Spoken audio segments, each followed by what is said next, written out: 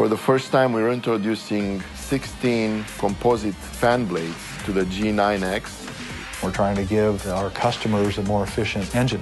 To do that, we've got to push the limits a little bit more than we have before.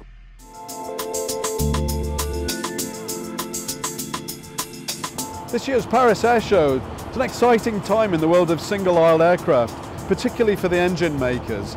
Pratt & Whitney on one side and CFM on the other. Pratt & Whitney is here for the first time, powering the Bombardier C-Series aircraft with the PW1500G. Already the C-Series is showing slightly better than expected performance figures, which augurs well for the future of the Pratt & Whitney powered fleet.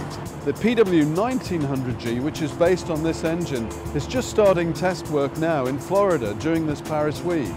Meanwhile, in Japan, the PW1200 version is now starting to do taxi tests on the MRJ.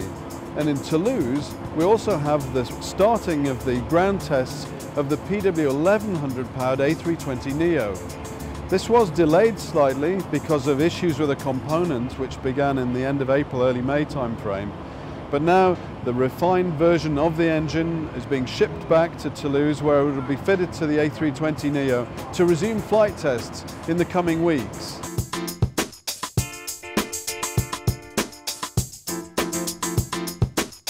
In the world of big fan engines, the latest and greatest are here at Paris. Right behind me, an A350 powered by the Rolls-Royce Trent XWB-84. Rolls-Royce is also currently building the first XWB-97, which will be used to flight test on the A380 testbed for the A350-1000. That's the biggest engine that Rolls-Royce has ever built.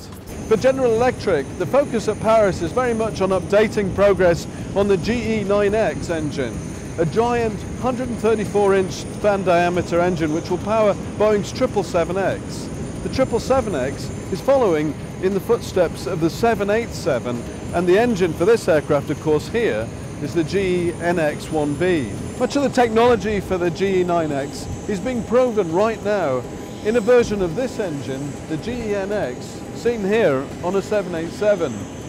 GE is using this as a test engine to evaluate the use of CMCs, advanced uh, ceramic matrix material, in the engine in a whole new way, and also a titanium aluminide, a lightweight material that's being used in the low pressure turbine for the first time on this application.